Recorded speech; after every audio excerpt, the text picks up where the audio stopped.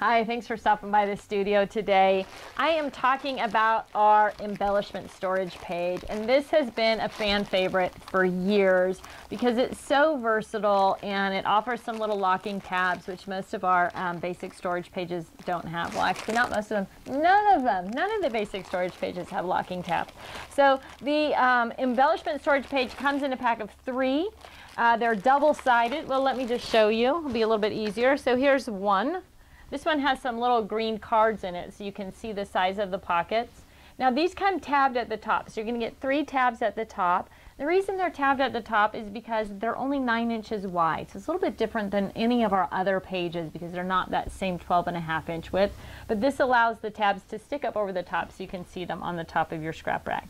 So what you've got here is 12 gusseted pockets on the front, and you've got a big pocket. Well, here I'll show you a clear one. Look at that, right? So 12 pockets on the front, 12 pockets on the back, and then there's a pocket in the middle. So if you want to put a piece of paper or something in there so you can't see what's on the other side, you can stuff it in that middle pocket. Standard three-hole punch, just like the rest of our products. So again, this is called the embellishment storage page. P50 is the SKU number on it, comes in packs of three, and let me show you all the cool things you can do with it.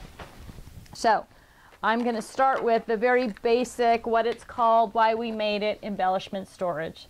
So you can see when you have bags of big bulky things, so brads, buttons, beads, eyelets, glitter, anything that you have lots of, the embellishment storage page is going to serve you very well. Now you do want to put your um, little goodies, you can see all my stuff in there, it's all in little Ziploc bags, right?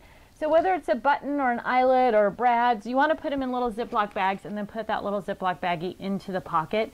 When you buy your um, embellishment storage pages, they're going to come with some li little Ziploc bags. So you get three of these pages at 72 pockets. You're going to get 72 little Ziploc bags to put in there. So perfect for embellishments. You can see everything from like they've got these little glass tiles. You might be using uh, glass slides for jewelry making, big heavy beads, findings, any of those kind of things are going to be perfect in this um, embellishment storage page. So the namesake embellishments, super easy, right? Another great thing that this can be used for is chipboard letters. So chipboard is big and bulky, and this will hold an entire set of chipboard letters. So we've got ABC all the way down to the bottom, XYZ. Again, tabbed at the top. You can put that paper in the middle. So great for chipboard. Dun, da, da, da. Finally, a perfect place to store your washi tape.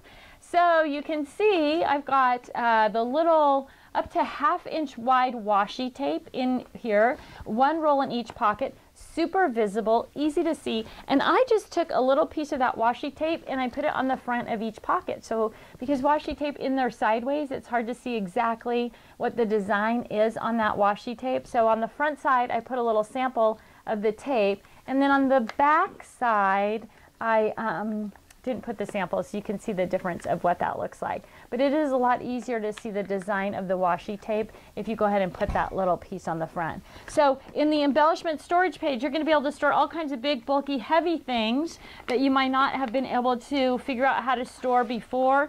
You're going to get three of them in a package and they're tabbed at the top. This is the P51, the embellishment storage page. You are going to love it.